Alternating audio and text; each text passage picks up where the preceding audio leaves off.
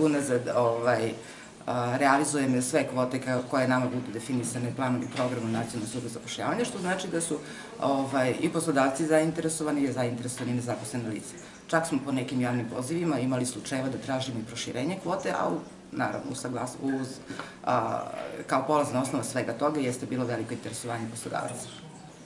Za ovu godinu kvote su već definisane, po svakoj meri imamo posebne kvote, primjera radi za stručnu praksu imamo 22 plus jedna osoba s invaliditetom, tako da svaka mera ima svoju kvotu.